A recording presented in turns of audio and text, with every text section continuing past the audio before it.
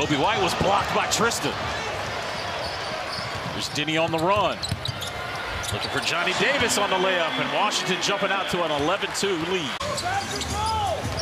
Came in as a 23% three-point shooter. Davis.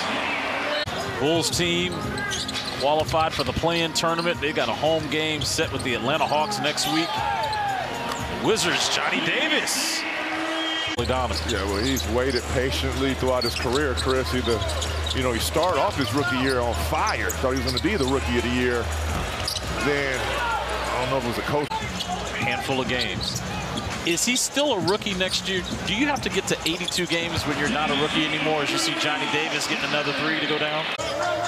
Would you call it the Valentine's Day massacre? Yeah, I mean, he uh, he definitely took that step and showed not only his teammates, but this league. but he did get his 10th rebound.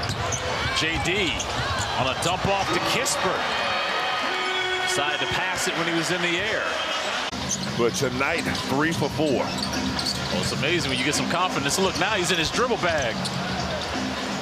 Kispert on a kick out.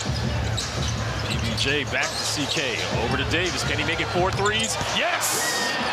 Johnny Davis, four of five from three tonight. Look at there, Jared Butler getting into the passing lane with a steal. JD on the run, blocked by Craig. Here's Gino. Threes up, threes good. Yeah, I love it.